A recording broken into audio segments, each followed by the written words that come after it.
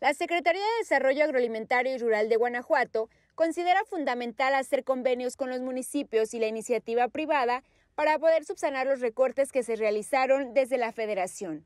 Lo anterior lo señaló el titular de la SDAIR, Paulo Bañuelo Rosales, quien mencionó que hasta el momento ya se tiene un convenio con Maseca que les permitirá asegurar cerca de 400 mil toneladas de maíz.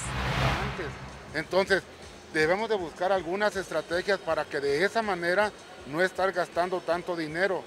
Me parece que por cada tonelada para estar asegurando esa caída en un determinado momento del precio del maíz asciende a 13 dólares. Entonces, nosotros vamos a poner alrededor de 5 dólares y la otra parte la pondrá más seca. Entonces, tenemos que estar buscando también a la iniciativa privada de tal manera de que nos esté ayudando hacer...